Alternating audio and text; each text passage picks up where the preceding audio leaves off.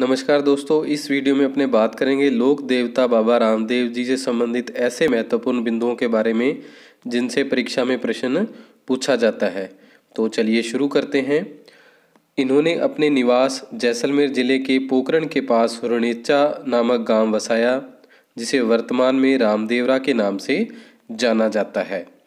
इनके पिता तंवर वंशी अजमाल जी और इनकी माता मेणादे या मेणा देवी जी थी तथा इनके भाई का नाम ब्रह्मदेव था। बाल्यावस्था में ही पोकरण के पास सातलमेर नामक स्थान पर भैरव नामक राक्षस का वध रामदेव जी ने किया था। बाबा रामदेव जी के गुरु बालीनाथ जी थे।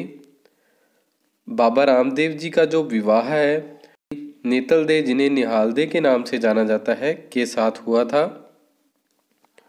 बाबा रामदेव जी ने जाति पाति छुआछूत ऊंच नीच का विरोध कर हिंदू मुस्लिम एकता स्थापित की।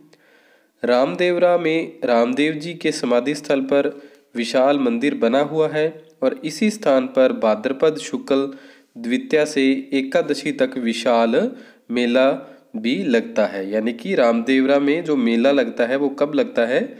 भाद्रपद शुक्ला द्वितीया से एकादशी तक। बाबा रामदेव जी के जो अन्य प्रमुख मंदिर हैं, जोधपुर के पश्चिम में मसूरिया नामक पहाड़ी पर बना हुआ है। बिरंटिया अजमेर में तथा सूरता खेड़ा चित्तौड़गढ़ में भी बाबा रामदेव जी का अन्य प्रमुख मंदिर है। रामदेव जी को रामसा पीर के नाम से भी जाना जाता है। रामदेव जी के मेले का मुख्य आकर्षण तेरह ताली नृत्य भी है। जो तेरह ताली नृत्य है, वो जो रामदेव जी के मेले लगते हैं, उनमें क्या है? आकर्षण का प्रमुख केंद्र है यह नृत्य। जिसे छोटा रामदेवरा कहा जाता है, वो वर्तमान में गुजरात राज्य में स्थित है। रामदेव जी ने कामड़िया पंथ की स्थापना की थी। महत्वपूर्ण है परीक्षा की दृष्टि से। रामदेव जी के द्वारा कामड़िया पंथ की स्थापना की गई थी। बाबा रामदेव जी ने डालीबाई को अपनी बहन बनाया, जो एक मेघवाल जाति से संबंध रखती थी। बाबा रामदेव जी के पगलिए पूजे जाते हैं, जो गाँव में स्थित चबूतरों पर बने आलिया में रखे जाते हैं। रिखिया, जो रामदेव जी के मेघवाल भक्त होते हैं, उन्हें रिखिया कहा जाता है। भाद्रपद शुक्ल द्वितीया को बाबेरी बीज के नाम से बीज जाना जाता है। बाबा रामदेव जी के मंदिरों को देवरा कहा जाता है। इन मंदिरों पर सफ़ेद या पंच रंग का ध्वज, जिसे नेजा कहा जाता है, उसको फहराया जाता है।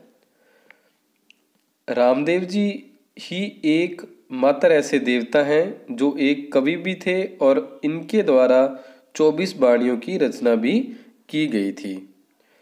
इनके जागरण को जम्मा भी कहा जाता है।